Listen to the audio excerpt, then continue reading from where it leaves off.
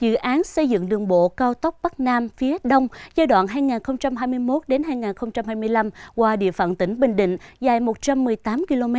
bao gồm 3 dự án thành phần. Do đó, khối lượng công tác giải phóng mặt bằng là rất lớn, với 11.460 hộ bị ảnh hưởng. Địa phương đã triển khai nhiều giải pháp, trong đó công tác dân vận luôn được quan trọng hàng đầu.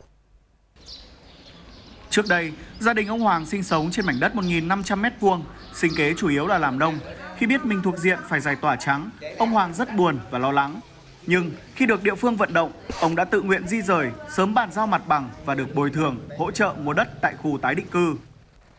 Ở trên là nó rộng rãi, nó thoáng mát, mình già rồi thích vậy. Nhưng mà vì đất nước phát triển, vì đất nước phát triển mình phải chấp nhận. À, nhưng mà nhà nước cũng được cũng đền bù cũng cũng, cũng xứng đáng cũng phát được ở nhà.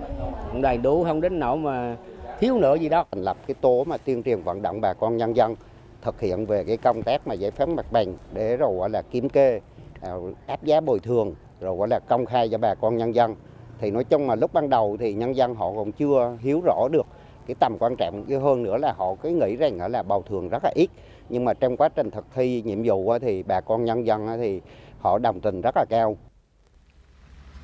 Hiện nay, công tác giải phóng mặt bằng phục vụ xây dựng cao tốc Bắc Nam của Bình Định đã cơ bản hoàn thành.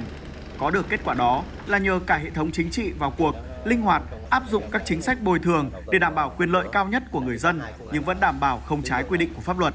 Trong đó, công tác tái định cư và việc công khai minh bạch chính sách là một trong những khâu quan trọng nhất.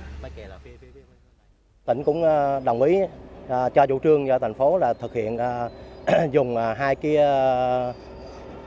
à, khu tái định cư 9,26 ta và à, khu vực 5 mùa xuân để mà bố trí tái định cư để tạo điều kiện cho à, thành phố à, có cái hướng đẩy nhanh tiến độ chứ còn nếu mà song song thực hiện khu tái định cư để đảm bảo hạ tầng và bố trí cho tái định cư cho các hộ này vào thì nó sẽ không có đảm bảo theo tiến độ đề ra. Về nơi ở mới, tất nhiên cuộc sống của người dân sẽ còn nhiều khó khăn Bình Định tiếp tục các chính sách hỗ trợ để người dân sớm ổn định cuộc sống, phát triển sinh kế tại vùng đất mới, từ đó tạo sự đột phá trong phát triển hạ tầng giao thông của địa phương, nâng cao đời sống cho người dân.